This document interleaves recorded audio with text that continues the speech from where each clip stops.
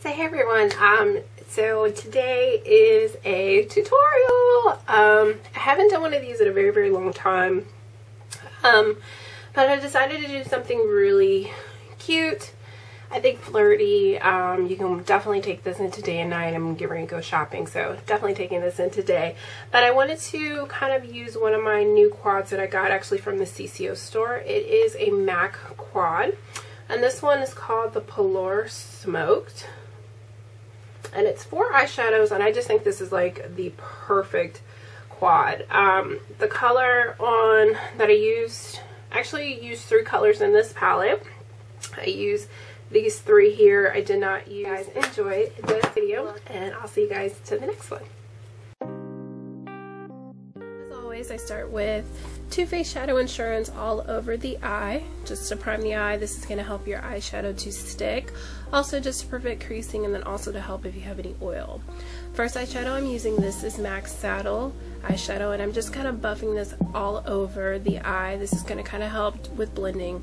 It's more of a transition color so you're just going to put it everywhere above the crease, into the crease, a little bit into the highlight areas. Everything will blend seamlessly. Using Cross Culture eyeshadow from that quad, I'm going to be placing that in with an E25 brush all into the crease just to create a more defined crease. I'm also flipping the brush over just to aid in any blending and to make sure that that is just seamless all the way through.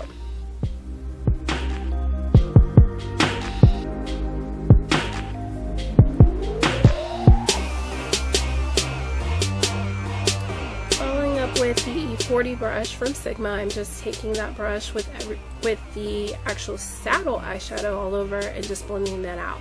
Going back to that quad, I'm picking up Lightfall with an E60 brush and applying this right onto the lid.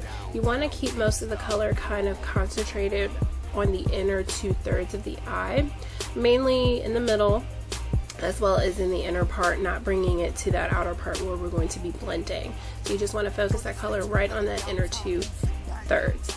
And I'm taking a E15 brush and also picking up that same cross culture that we put in the crease and applying that right under the lower lashes. I'm just kind of smudging it right in there, making sure that it is tight to the lashes. Also using an E30 brush and picking up that dark purple, which is called Parlor Smoke, and using that pencil brush and just applying it right into the outer V. This is a technique that I like to use just to kind of place the color and then I will follow through with blending with another brush. So this is easy if you're not good with blending. This is one of the techniques I use. And then I'm going back in with an E25 brush and just blending that out to make sure that it is seamless and there's no harsh lines and that it looks really nice. Going back in with that E30 brush, I'm going to be taking that same color that I applied to the outer V and I'm going to be smoking that out underneath the eye, just smudging it right under the lash, just making sure it's very tight. Also using an E46 brush and picking up Tempting eyeshadow from MAC and we're just applying that right in the tear duct area just making sure that you're not getting this in your eye because it is a little bit of a chunkier eyeshadow but just make sure you're getting right in that tear duct area. Then I'm taking my favorite liner from MAC. This is Felines um, liner. Um, and I'm just applying this to my waterline, making sure that I'm not poking myself in the eye. I tend to do that when I record tutorials.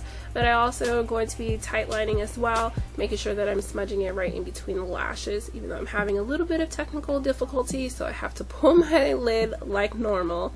But you guys get the point. So you just want to make sure that your line tight, or the lines are actually lined. And then I'm taking MAC's Fix Plus. I sprayed my E60 brush, picked up that Lightfall color again, and now I'm focusing most of the color on that two-thirds, that inner two-thirds. So this is just going to give us a little bit more of a color payoff, which is definitely what you want. And I'm taking Stila Stay All Day Waterproof Liquid Eyeliner, my favorite liquid eyeliner, and I'm going to just be creating a wing um, just lining my eyes right now, keeping the line fairly thin, not too, too heavy. You can go more dramatic. I would definitely say if you're doing this look more for a nighttime, you can make that line a little more dramatic. But I'm just kind of keeping it nice and tight to the lashes, just for a nice little winged out look.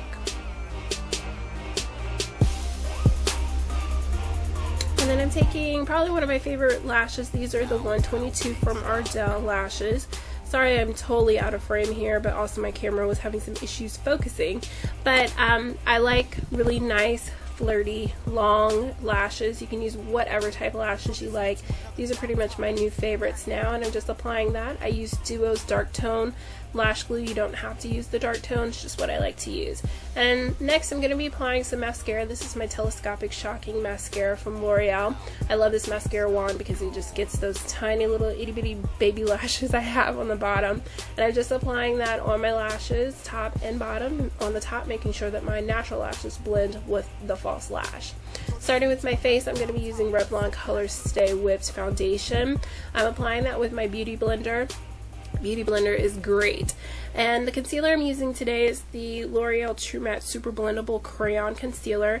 Um, this concealer is about a shade or so lighter than my skin tone, so it's going to give me a natural highlight without looking too, too highlight, which is what I want.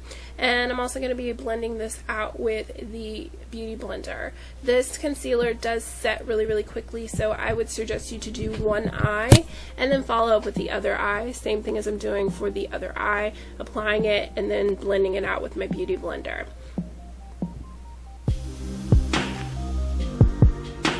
So I have a pimple. so I'm just using a little bit of concealer to cover that up. I think I used the MAC Studio Fix, I can't remember. Um, that was the NYX HD Studio powder, which is just a milled white powder that I'm applying all over my concealer. It doesn't alter my concealer at all um, or any color on my face and it photographs really, really well. And then I'm following up with my Revlon Nearly Naked Foundation, or actually press powder, I believe. Oh, technical difficulties. I'm just applying that all over the face, making sure that my foundation is set.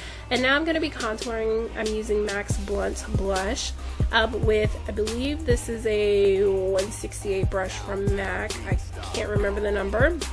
I think it's a 168. Just applying that right um, into my under my cheekbones just to contour those out, make my face look a little slimmer. I'm also doing that around the um, around my face and then also I'm going to be contouring my jawline. A lot of people don't contour their jawline. You should contour your jawline. Make sure that you get right up under there and just get that color and make sure you blend it out seamlessly. Uh-oh, dance break. Totally was having too much fun doing this tutorial, so as you guys can see, I am an idiot.